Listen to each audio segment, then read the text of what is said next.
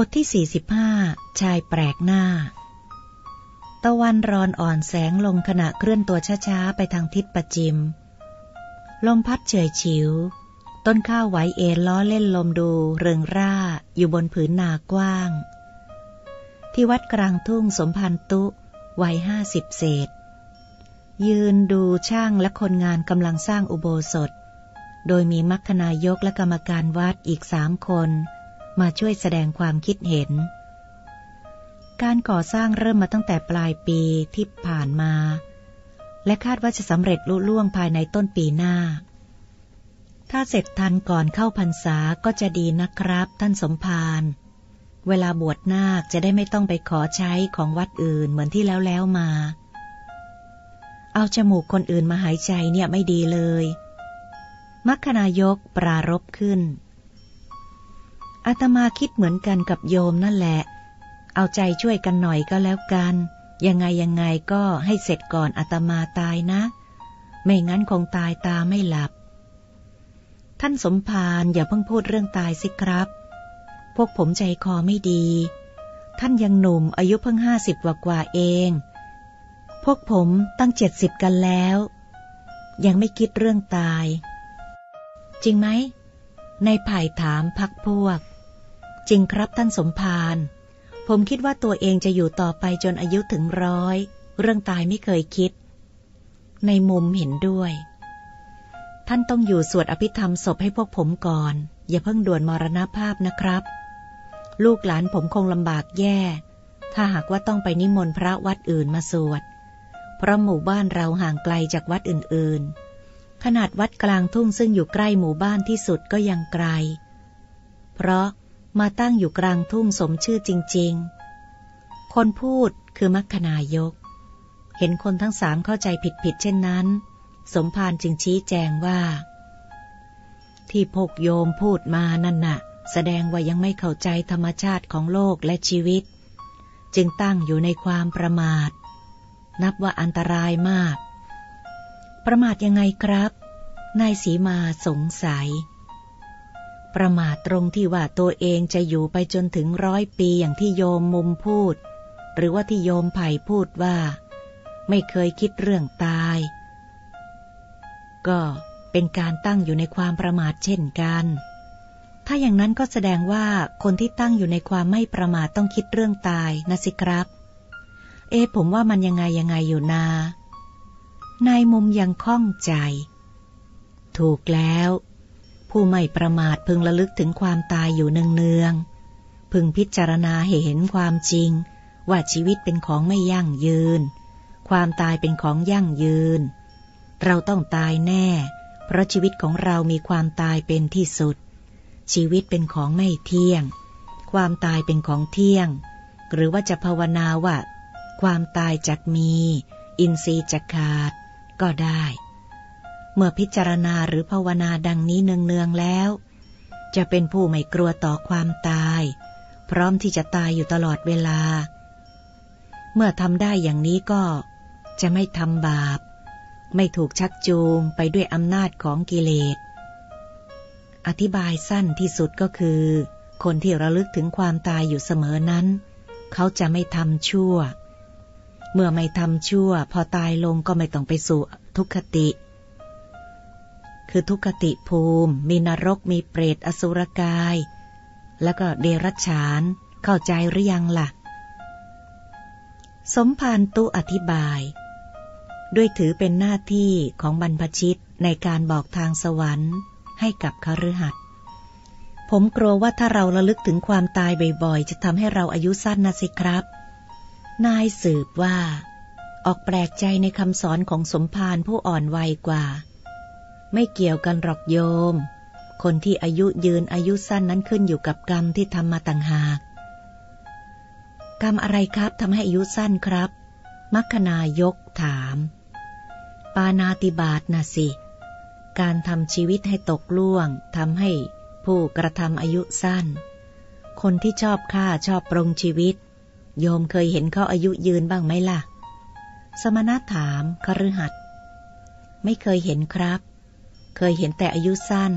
เพราะไปฆ่าเขา ตัวเองก็เลยถูกเขาฆ่าบ้าง เป็นกงเกวียนกำเกวียน ในมุมเป็นคนตอบ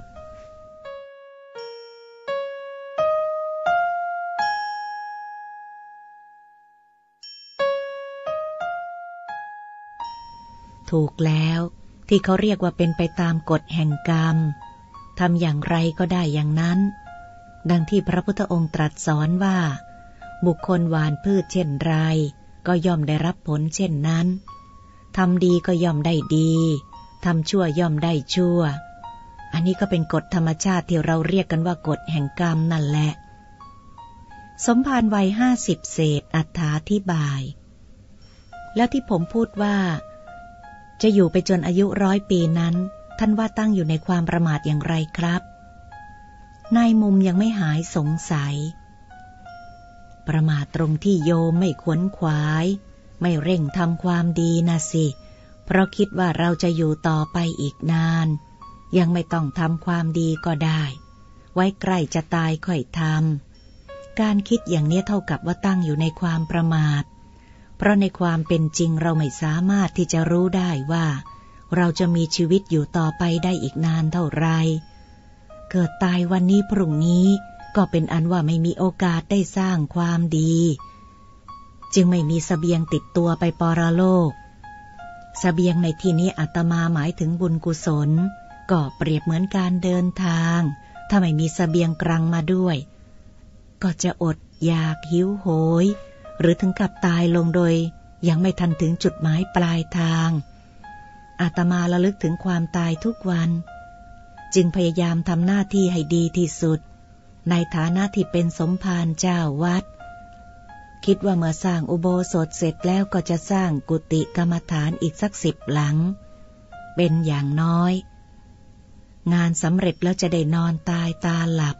เพราะไม่มีอะไรต้องห่วงใยอีก ท่านยังไม่มรณภาพหรอกครับ ต้องให้พวกผมไปก่อน คนเกิดก่อนก็ต้องตายก่อนจริงไหมครับ นายสีมาเอ่ยขึ้น มันไม่แน่นอนเสมอไปหรอกโยม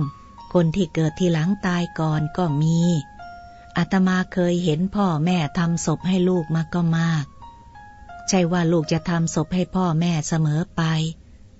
พวกโยมอาจจะต้องมาทำศพให้อาตมา ก็ได้ใครจะรู้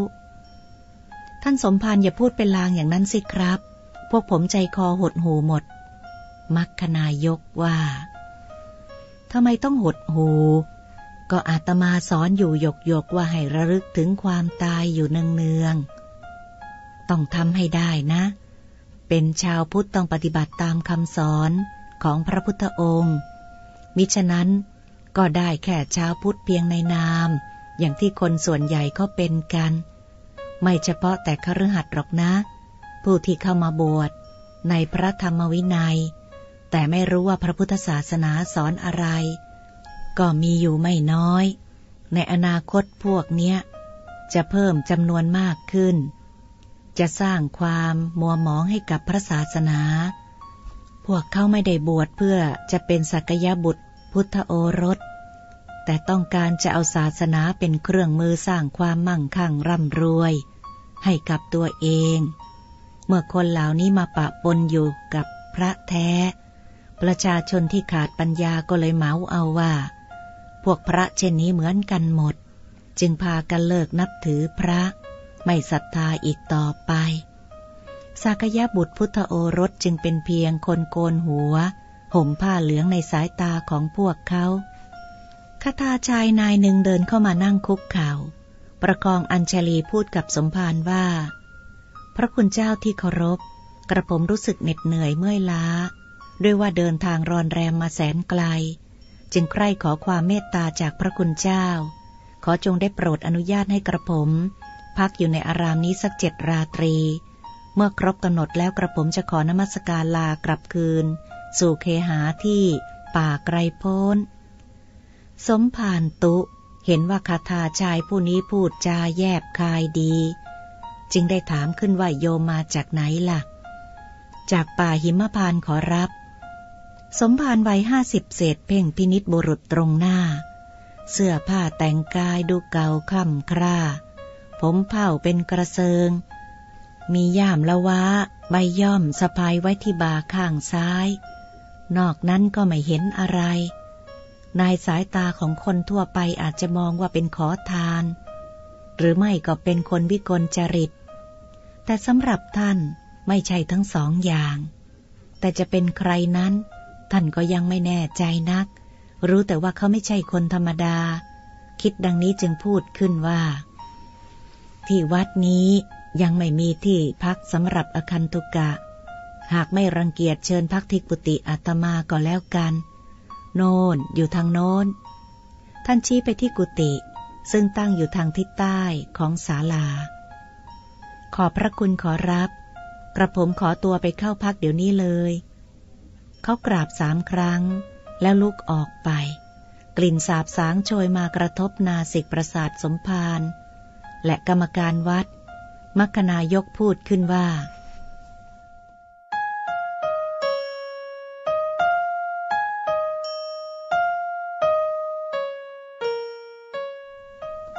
ท่านสมภารอย่าให้มันพักเลยครับ ท่าทางไม่น่าไว้ใจ เป็นคนจรหมอนหมินมาจากไหนก็ไม่รู้ ดีไม่ดีจะแอบขนสมบัติพัสถานท่านไปจนเกลี้ยงกุฏิก็ได้ อาตมาไม่มีสมบัติพัสถานอะไรให้เขาขนหรอกโยม เขาเป็นแขกมาขอพักพิง เราเป็นเจ้าของบ้าน จะผลักสายไล่ส่งไปก็ดูกระไรอยู่ อย่างน้อยก็ควรคิดว่า เขาเป็นเพื่อนร่วมเกิดแก่เจ็บตาย ที่เราต้องช่วยเหลือเกื้อกูล โบราณท่านสอนว่าอย่าไว้ใจทางอย่าวางใจคน จะจนใจเองนะสิครับ ท่านสมภารในมุมอ้างโบราณนายสีมารีบเสริมว่า รีบตัดไฟเสียแต่ต้นลมยังดีกว่าวัวหายแล้วล้อมคอกนะครับ โยม สมภารตุรู้สึกละอาในความดื้อรั้นของคฤหัสถ์ผู้สูงวัยกว่า โยม อายุมากๆกันแล้ว ถ้าจะเปรียบก็เหมือนไม้ใกล้ฟัง จะถูกลมพัดหักโค่นลงวันใดก็ยังไม่รู้ได้ทำไมโยมไม่รีบสร้างคุณความดี ให้เป็นตราประทับไว้กับโลกละ่ะ แค่ให้ความเมตตาต่อเพื่อนมนุษย์ โยมก็ยังไม่ทำกันทำกันไม่ได้ แล้วนับประษาอะไรจะไปสร้างคุณความดีที่สูงกว่านี้ นี่อาตมาขอตำหนิตรงๆเลยนะ เมื่อถูกผู้อ่อนวัยกว่าตำหนิเช่นนั้น คฤหัสถ์ทั้งสีก็มีโทสะ นายไผ่พูดโกรธๆว่า ท่านพูดอย่างนี้ได้ยังไง อย่างน้อยๆ พวกกระผมก็อายุมากกว่าท่าน น่าจะฟังกันบ้าง นั่นสิ ท่านน่าจะฟังเสียงข้างมาก ไม่ใช่ดึงดันอยู่คนเดียว แบบนี้เขาเรียกว่าเผด็จการ เราอยู่ในสมัยประชาธิปไตยนะครับ นายสีมาช่วยประสมลง อันที่จริงท่านไม่ใช่คนบ้านนี้ มาจากบ้านอื่นก็น่าจะฟังเจ้าของถิ่นเขาบ้าง นี่อะไร ไม่ให้เกียรติกันบ้างเลย ในมุมหาข้อติฉินบ้าง เห็นกรรมการวัดช่วยรุมว่าสมภารเช่นนั้น คนเป็นมัคคนายกสงสารท่านจึงพูดขึ้นว่า พวกเองมันก็มากไปแล้วนะ ให้มันรู้บ้างว่าใครเป็นใคร ถึงท่านจะอายุน้อยกว่า แต่ท่านก็เป็นพระที่มีธรรมสูงกว่าพวกเอง เป็นผู้ที่พวกเองต้องกราบไหว้ ไม่ใช่ตำหนิติเตียนท่านอย่างนี้ ระวังบาปจะกินหัวพวกเอง โดยเฉพาะไอ้มุมทำไมข้าพูดความจริงจะบาบาปยังไงข้าไม่ได้มุสานินาในมุมพูดผ่านผ่าน ยังจะมีหน้ามาเถียง ก็เองไปว่าอย่างนั้นมันแสดงให้เห็นว่าเองเนรคุณทำไมเองไม่คิดในมุมกลับว่า ขนาดท่านเป็นคนบ้านอื่น ยังอุตส่าห์มาสร้างความเจริญให้แก่บ้านเราทำไมเช่ท่าน วัดของเราจะเจริญมาถึงป่านนี้หรือลำพังพวกเราต่อให้ร้อยปี ก็ไม่มีปัญญาสร้างโบสถ์หรือใครจะเถียง ถ้อยคำของมัคคายกทำให้ผู้เฒ่าทั้งสามได้คิด หากทิฏฐิมานะที่แนบเนื่องอยู่ในจิตก็ทำให้ไม่ยอม ขอขมาลาโทษ ผู้เป็นบรรพชิต สมภารตุจึงพูดขึ้นว่า เอาละเอาละยุติกันเสียทีอาตมาไม่ถือสา แต่อาตมาจะต้องชี้แจงไปตามหน้าที่ เพื่อโยมจะได้เข้าใจอย่างถูกต้อง ที่โยมสีมาพูดก็ ว่าอาตมาเผด็จการนั่นน่ะ แสดงว่าโยมสีมายังไม่เข้าใจ คือการปกครองระบอบประชาธิปไตย ซึ่งถือเสียงข้างมากเป็นเกณฑ์นั้นน่ะ บางครั้งก็ทำให้เกิดอันตรายได้ เพราะในบางยุคบางสมัย ถ้ามีคนชั่วมากกว่าคนดีอำนาจจะไปตกอยู่ในมือของคนชั่ว เมื่อคนชั่วปกครอง ก็นำบ้านเมืองไปสู่ความหายนะ เกิดกะลียุคข้าวยากหมากแพง เรียกว่าเป็นกรรมของประเทศชาติ ของประชาชน อันนี้เป็นเรื่องทางโลก แต่ในทางธรรมนั้นเราไม่ใช้ประชาธิปไตย แต่ว่าใช้ธรรมาธิปไตย คือถือธรรมเป็นใหญ่ ธรรมในที่นี้ก็หมายถึงถูกต้อง เราเอาความถูกต้องมาตัดสิน ไม่ได้เอาเสียงข้างมาก ถ้าเอาเสียงข้างมากอาตมา แพ้โยม เพราะโยมมีกันตั้งสี่คนจริงไหม จริงครับ คนทั้งสี่ยอมจำนนในที่สุด ดีมาก เราต้องเอาความถูกต้องมาเป็นตัวตัดสิน อะไรที่ถูกก็ต้องถูก แม้ว่าไม่มีใครเห็นด้วยเลย ก็ไม่ทำให้มันผิดไปได้ ถูกไหม ถูกครับ คนชราทั้งสี่ตอบพร้อมกัน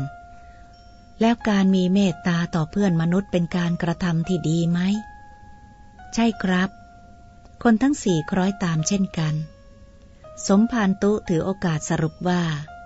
ในทำนองเดียวกัน การที่อาตมาเมตตา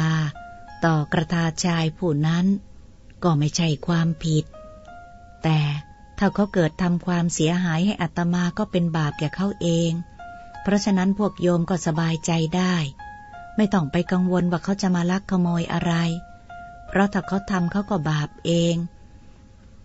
บาปนั่นก็ไม่ได้ตกมาถึงพวกเรา ไม่ว่าจะเป็นโยมหรือว่าอาตมา เมื่อสมภารพูดอย่างนี้มัคคณายกกับกรรมการวัดก็แย้งไม่ขึ้น จึงถือโอกาสลากลับบ้านเรือนของตน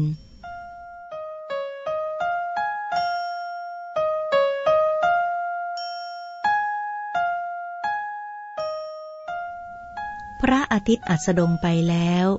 เบื้องบุรพาทิตย์ พระจันทร์ลอยเด่นพ้นขอบฟ้ามารับช่วง หน้าที่ต่อในยามราตรี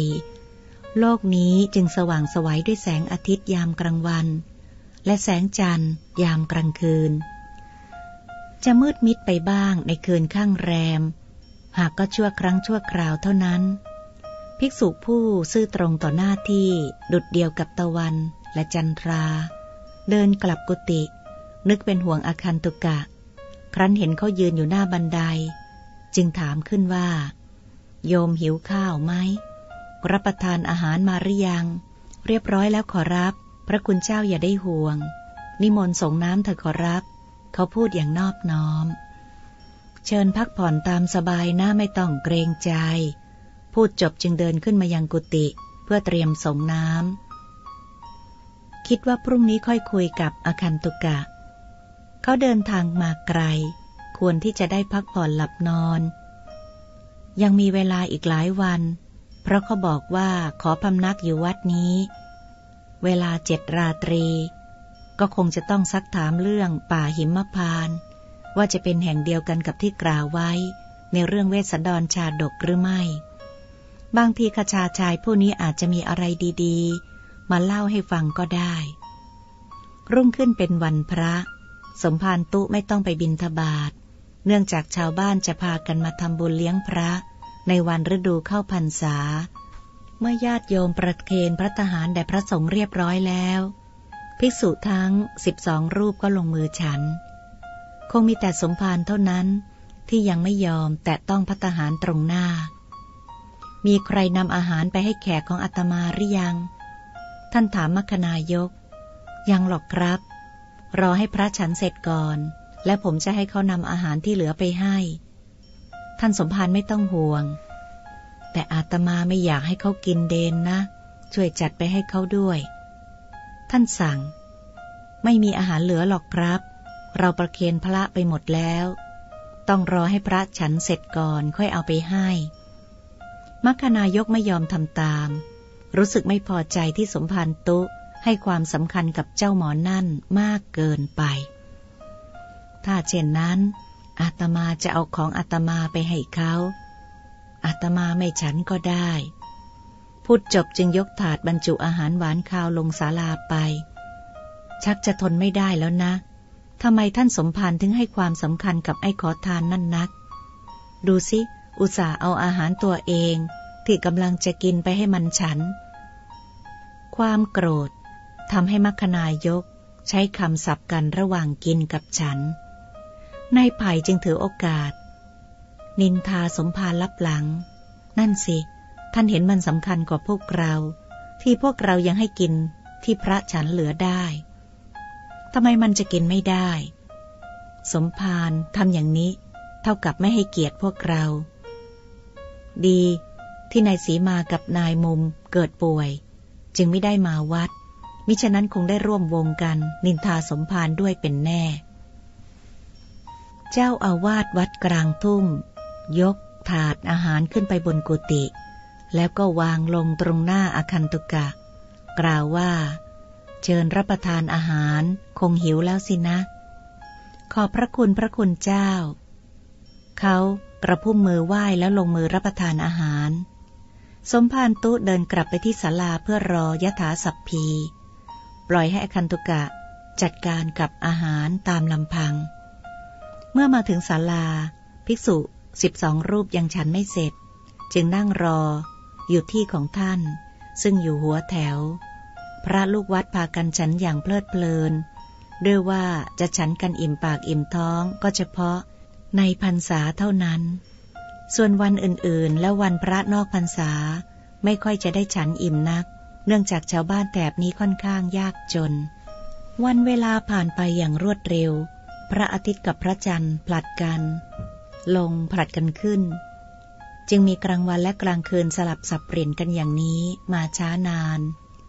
และแล้วเวลาเจ็ดวันก็ผันผ่าน อาคันตุกะที่อ้างว่ามาจากป่าหิมพาน จึงกราบลาท่านสมภารหลังจากที่พำนักอยู่เจ็ดราตรีตามที่พูดไว้ จะไปแล้วหรือยังไม่ได้คุยกันเลยอาตมาโมแต่ยุ่งเรื่องการก่อสร้าง เลยไม่มีเวลาคุย ต้องขออภัยด้วย ค้างอีกสักคืนเถอะนะ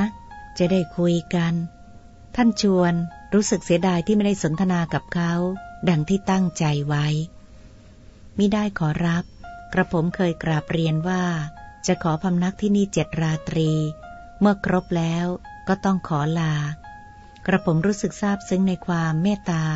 ของพระคุณเจ้ายิ่งนัก ถึงกระนั้นก็ไม่มีอะไรจะตอบแทนนอกจากสิ่งนี้ เขาเอามือล้วงลงไปในย่ามละวะ หยิบของสิ่งหนึ่งที่ห่อด้วยผ้าขาวออกมาถวาย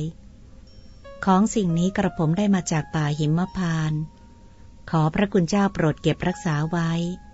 อย่าได้นำไปให้แก่ผู้ใด เพราะผู้ที่จะครอบครองสิ่งนี้ต้องเป็นผู้มีวาสนาเท่านั้น พร้อมกันนี้กระผมถือโอกาสกราบเรียนว่า พระคุณเจ้าคิดจะทำอะไรก็จงทำเสียให้เสร็จ สิ้นภายในสามปี กระผมขอกราบเรียนไว้เพียงเท่านี้ ขอนมัสการลา เขากราบสามครั้ง แล้วก็ลุกออกไป สมภารตุมองตาม กระทั่งเขาเดินออกไปทางประตูด้านหลังวัด จึงแก้ห่อผ้าขาวออกดู ก็รู้ว่า เขาให้อะไรไว้ สิ่งที่สายตาสัมผัสทำให้ท่านตกตะลึงงัน พูดกับตัวเองว่า นี่มันนารีผลนี่นา แล้วจึงเดินไปที่หน้าต่าง ร้องบอกคนงาน ผู้หนึ่งว่า โยม ช่วยเรียกชายคนนั้นมาที บอกว่าสมภารให้มาหา คนไหนครับ คนที่เดินออกประตูหลังวัดไปเมื่อกี้นี่นะ่ะ ไปเรียกมาให้หน่อย ชายหนุ่มจึงวางมือจากงานที่ทำเดินออกประตูหลังวัดไป ประเดี๋ยวหนึ่งก็มากราบเรียนสมภารว่า ไม่เห็นมีใครสักคนนี่ครับ มีแต่ต้นข้าวเขียวขจีเต็มทุ่งไปหมด สมภารตุ รู้ในทันทีว่าคาถาชายผู้นั้นมิใช่คนธรรมดา แต่เพื่อความแน่ใจจึงเดินไปดูที่เขานอน หน้าประหลาด ที่กลิ่นสาบสาง กลับกลายเป็นกลิ่น หอม ที่นาสิก ประสาทของท่าน ไม่เคยได้สัมผัสมาก่อน ท่านกลับมานั่งที่เดิมแล้วพิจารณา นารีผลอีกครั้ง แม้จะอยู่ในสภาพแห้งเหี่ยว หากก็ยังมีความงดงามหลงเหลืออยู่ ลักษณะเหมือนผู้หญิงสองคน นอนขดตัวเข้าหากัน มีอวัยวะ ภายนอก เหมือนกับคนทุกๆประการ ปิดกันตรงที่นิ้วมือกับนิ้วเท้า ซึ่งมีลักษณะเรียวยาวเหมือนลำเทียน ไม่มีข้อ นิ้วชี้ถึงนิ้วก้อยยาวเสมอกัน ส่วนนิ้วหัวแม่มือยาว ประมาณครึ่งหนึ่งของนิ้วอื่นๆ มีศีรษะมีขั้ว คล้าย ขั้วมังคุด ลองดมดูก็ได้กลิ่นหอมกลุ่นๆ เหมือนกลิ่นน้ำอบไทย